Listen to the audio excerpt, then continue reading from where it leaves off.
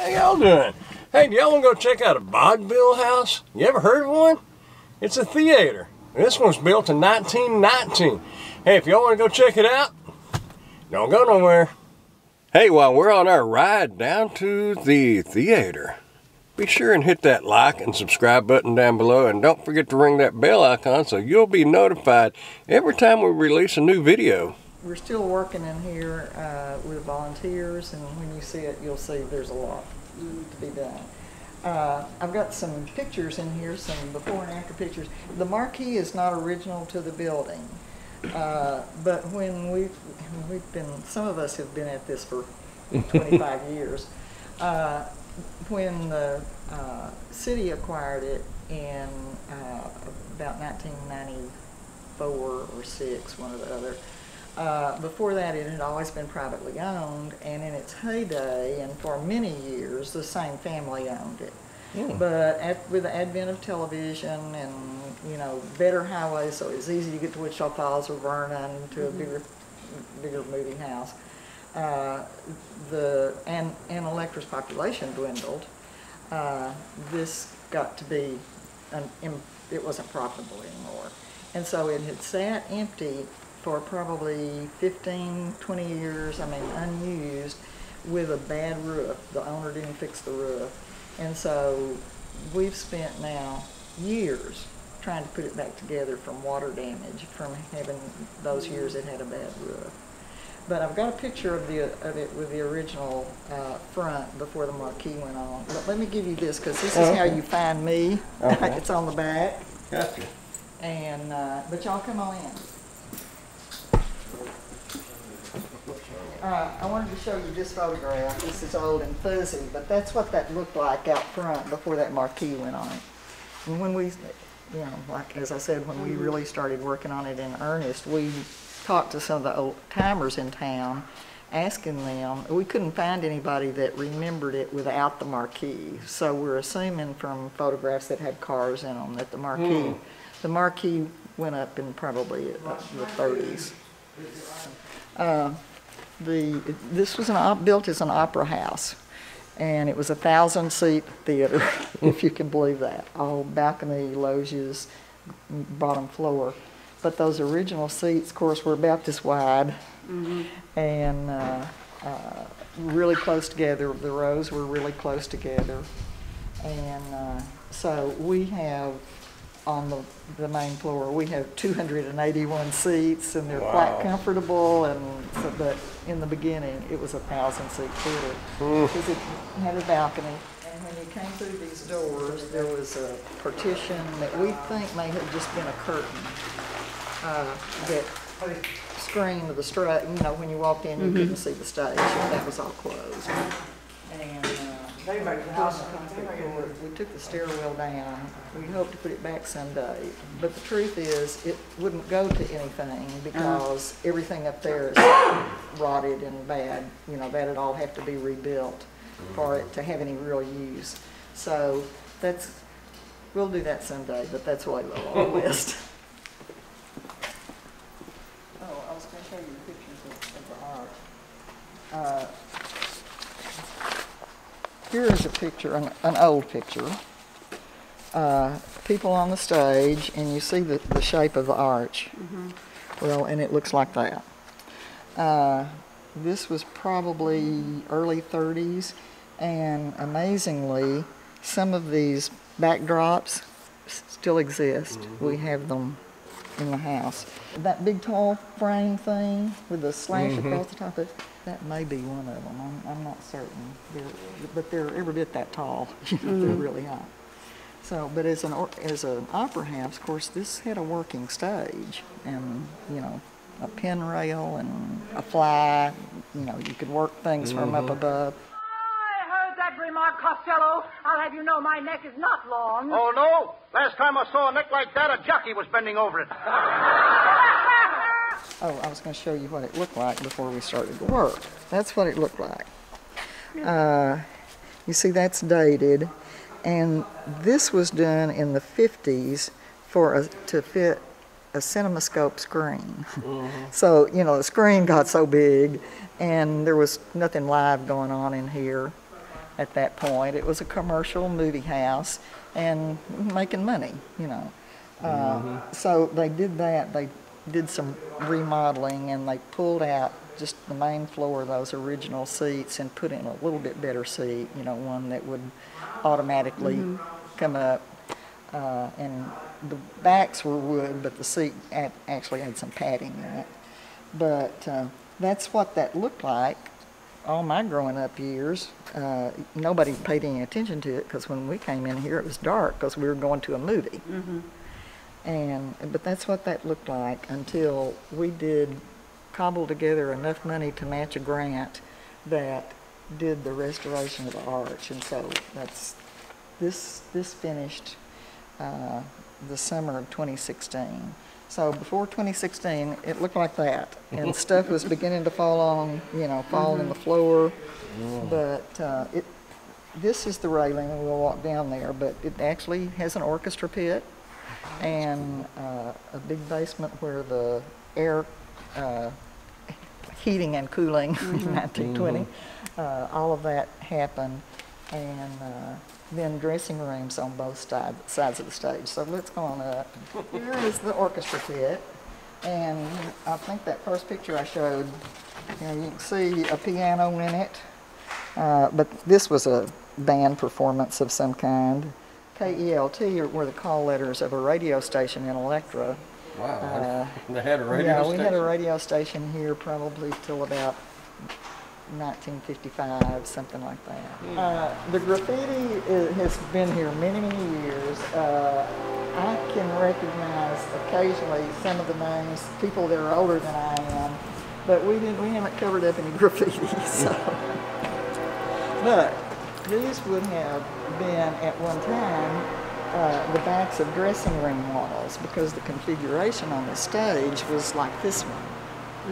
And you see the pin rail up top, it's got the sticks sticking down in it, and that's how you control the ropes that raise and lower everything. Mm Am I insulting you? Woo!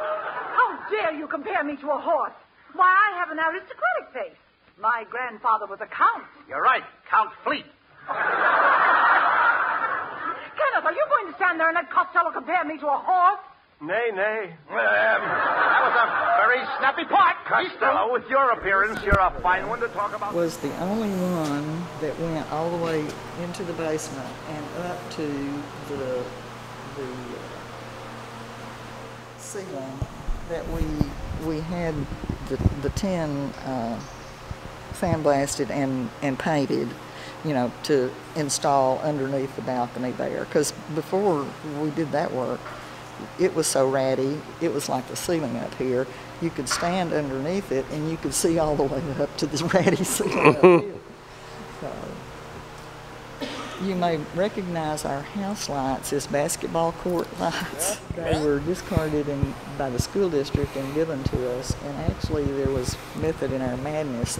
We hung them at a height so you really don't notice that ceiling. and they're so bright, you know. But we had to have a way to work in here. Right, And, right. uh, so that was an early thing that we got done. Uh, There's the CinemaScope screen. It's still up there. It is heavy. Now, it is chained up there. The other things that you see dangling are, you know, are on ropes and things. Mm-hmm. But like the string of lights, you know, that's Right. not on chains. It doesn't weigh a whole lot. We have one actual dressing room left. It's on this floor. And uh, it's not easy getting up there, but it, I mean, other than stuff on the stairs and all that, uh, it- it's hard to get up there because we've got stuff everywhere. But it's the, you can see where we've reinforced stairs and, and handrails and everything, so it's safe for us to come and go. Uh, and if you want to go into that dressing room, it has a light in it and it's got a mirror on the wall. And,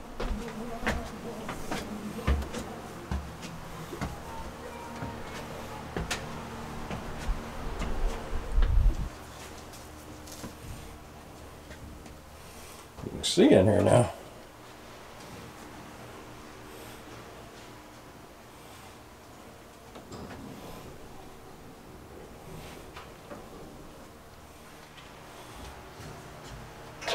Actually got to be in a room with a star on the door. We got a here. See, these are supports we've added, mm-hmm. stage floor supports, and we've got to do that on that whole end over there. But we had to get to bedrock to do it. This chimney, thing, I'm not quite sure that worked, but up on the front, up above the marquee, there was, and it, it's still up there on the inside. Uh, great, huge fan, you know, bigger than my stretch. Wow. I mean, I, I'm thinking, and there's a concrete V thing, V shape there that was under the wooden floor. You can see the end of it down here. It's got a plank up there above it. And the water table in Electra, it, if you haven't discovered this already, it's pretty high. And this building was built with that hole over there in it, the sump, and a pump in it to pump the water out of the basement. Well, uh, that's all well and good, except for those, those twenty years it sat here with a bad roof and raining in and nobody in here Right. taking care of that. And so this basement sat full of water for years.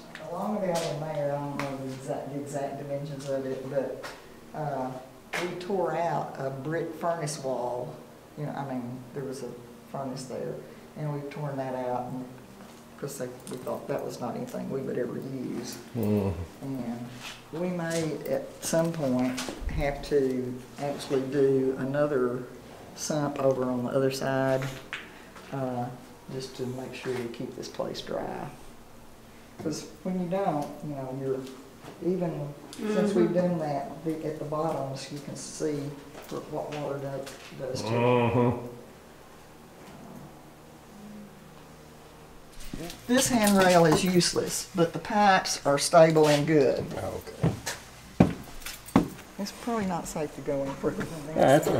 Anyway, you can see the boxes. Those would have been the most expensive seats in the house, except that there were uh, two little uh, openings down here that we're not sure whether they ever had seats in them. In the 50s, they had swamp coolers in them. so we didn't ever know whether they actually was, that was seating or whether they just used it on the stage side for rock storage or whatever. That's a little, little drop-down thing that you see, uh, that where we've done the tin, re- restored the tin tile. And we think that was probably a projection booth, but we don't, maybe for a long time ago. And then the big cameras were up in here. Oh, yeah.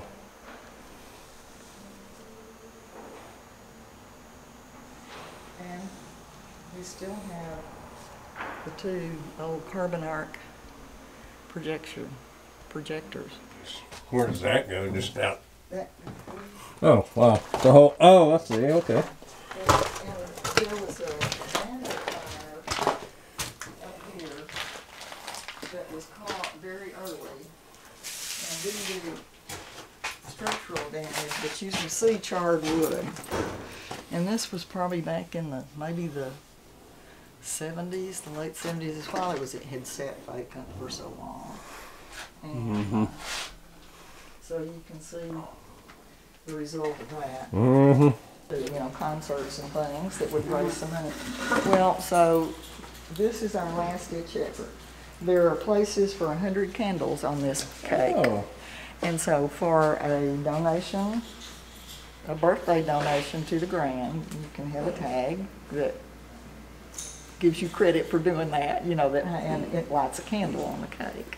I was sitting out here editing the video from our trip yesterday to the Grand Theater in Electra, Texas, and realized I either didn't record an ending or I lost the last clip. I'm not really sure. If you find yourself on 287 between Wichita Falls and Vernon, Texas, and you're into looking at old buildings like the Grand Theater in Electra, Texas, y'all stop off and check it out.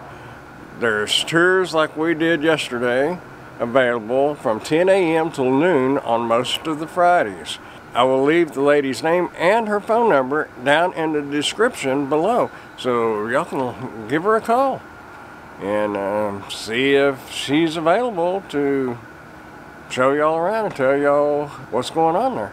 Y'all can check it out. In the meantime, y'all keep on keeping on, and we'll see y'all down the road. Bye.